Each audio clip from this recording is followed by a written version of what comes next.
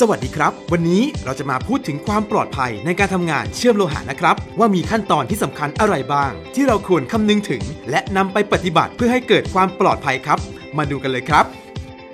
ขั้นตอนแรกการขออนุญาตก่อนปฏิบัติงาน หรือที่นิยมเรียกกันว่า การขอ work permit ก่อนที่จะเริ่มทำงาน เพราะงานเชื่อมถือว่าเป็นงานที่เสี่ยงต่อการทำให้เกิดไฟไหม้ได้ หรือที่เรียกกันว่างาน hot work ครับ การขออนุญาตทำงานมักจะเป็นข้อกำหนดในการที่จะทำงานเชื่อมในบริเวณพื้นที่ทั่วไปสำหรับการผลิตไม่ได้แบ่งเป็นพื้นที่ซ่อมบำรุงสำหรับงานเชื่อม เช่น งานเชื่อมท่อ เชื่อมโครงสร้างอาคารเป็นต้น ทั้งนี้เพื่อให้มีการพิจารณาพื้นที่ทำงาน ความพร้อมของสถานที่ และให้มีการดำเนินการตามขั้นตอน และให้เกิดความปลอดภัย มีผู้รับผิดชอบความปลอดภัย เฝ้าระวังในการทำงาน ขั้นตอนที่ 2 ซึ่งเป็นขั้นตอนการเตรียมพื้นที่ การเตรียมอุปกรณ์ต่างๆสำหรับงานเชื่อมก่อนที่จะทำการเชื่อมตัดด้วยไฟฟ้าหรือแก๊สทุกครั้ง ผู้ปฏิบัติงานต้องทำการตรวจสอบบริเวณโดยรอบ จะต้องไม่มีวัสดุที่ติดไฟได้ อยู่ในรัศมีที่สะเก็ดไฟ จากการปฏิบัติงานจะกระเด็นไปถึง ทั้งนี้ให้รวมถึงการเชื่อมในที่สูง ที่สะเก็ดไฟจะตกลงไปได้ โดยให้ทำการเคลื่อนย้ายวัสดุที่ติดไฟดังกล่าวออกไป จัดให้มีอุปกรณ์วัสดุที่ไม่ติดไฟ ปิดกั้นบริเวณพื้นที่ปฏิบัติงานเพื่อป้องกันประกายไฟหรือสะเก็ดไฟกระเด็นไปตกบริเวณสารไวไฟ วัสดุติดไฟ หรือกระเด็นถูกผู้ที่อยู่ใกล้เคียง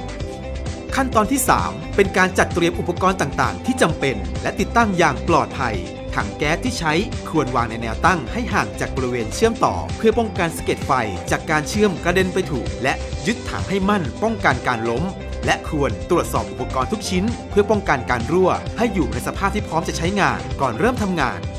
ในบริเวณที่มีการเชื่อมตัดจะต้องจัดให้มีอุปกรณ์ดับเพลิง ติดตั้งไว้ใกล้บริเวณพื้นที่ทำงานให้เพียงพอ และสามารถหยิบใช้ได้โดยสะดวก ในกรณีเกิดเหตุฉุกเฉิน อุปกรณ์การเชื่อมตัดด้วยไฟฟ้า จะต้องอยู่ในสภาพที่ไม่ชำรุด ฉีกขาด เสียหายฟิวส์ของเครื่องเชื่อมไฟฟ้าที่ใช้ มีขนาดเหมาะสม และใส่ฟิวส์ให้เข้าที่